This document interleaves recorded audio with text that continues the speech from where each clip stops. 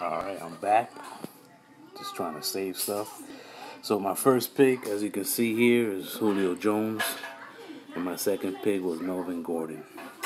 I'm going to go ahead and pick my third round. Oh, this is, yeah, I'm in the third round. My next pick,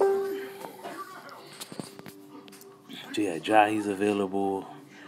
Alshon Jeffery, Demaryius Thomas, Todd Gurley, Jordan Reed, Doug Baldwin, George Landry, Sammy Watkins, Keenan Allen, Golden Tate, Julian Edelman, Marshawn Lynch, Allen Robinson, Christian McCaffrey, Aaron Rodgers, Michael Crabtree, so on and so forth.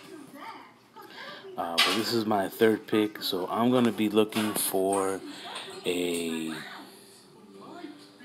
wide receiver or a quarterback. So if I go over here and check positions,